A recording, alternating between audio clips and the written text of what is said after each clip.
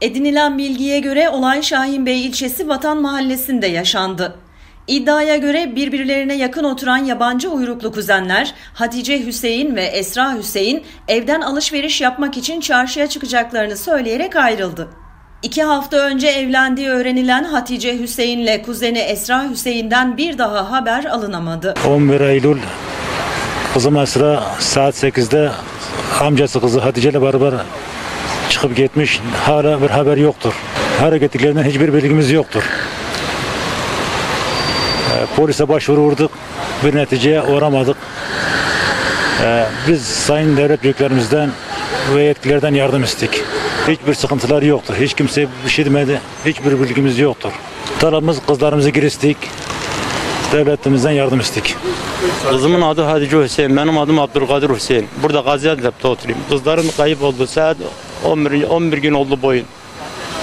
Vatan Mahallesi'nden çıktılar, çıkmışlar çarşıya diye çıkmışlar.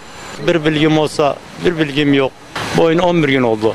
Yeniden amcası çıktılar. Bunları bildik. Başka bir bilgimiz yok. Kaçtın, kaçırdın, evden çıktın, geldi haber evde yoklar. Hareketler bilmeyeyim.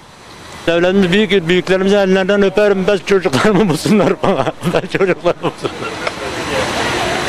Ben çocuklarım yazın. Arkasında ben varım. Kimse karşılamaz kendine. Asla kimse karşılamaz.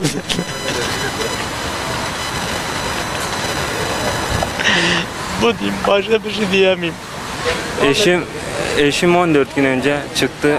Artık kuzeniyle var var kaçırıldı mı, kaçtılar mı bilmiyorum. Büyük yetkilerden yardım istiyorum.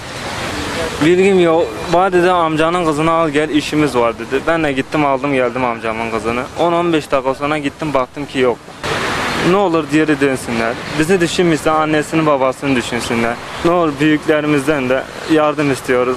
Yaşanan olayın ardından büyük üzüntü yaşayan kuzenlerin ailesi durumu hemen polis ekiplerine bildirdi. Yaklaşık 12 gündür her yerde kuzenleri arayan ekipler ikiliden hiçbir ize rastlayamadı.